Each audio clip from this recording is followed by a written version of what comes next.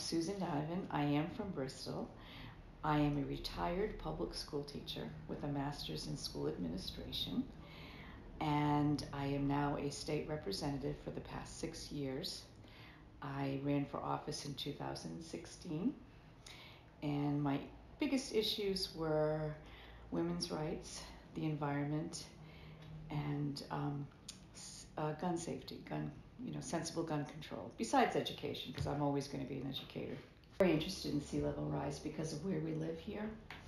Um, and the storms, um, because my father lived around the corner, grew up around the corner, right across from the Prudence Ferry, and the 38 and the 54 car- hurricane came right up to his house on Church Street, Lower Church Street. It was terrifying for him because in 38 he was like 14, 1938. And he watched the storm surge come in and all the debris and the boats with it. And you can imagine. Well, that kind of, he described that to me over and over again, you know, what it's like and um, to witness something like that. And so now with the storms happening the way they are, it's just a matter of time before we experience something catastrophic like that again.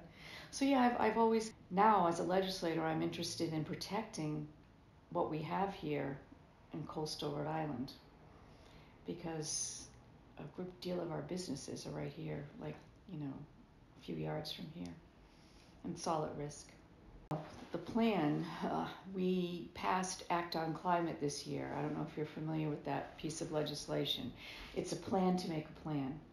We couldn't apply or access federal dollars to um, help re- with resiliency, you know, with coastal resiliency, unless we had something concrete. So now we have this legislation that allows us to start uh, making plans and um, accessing federal dollars and then finding a way to uh, fund resiliency projects. We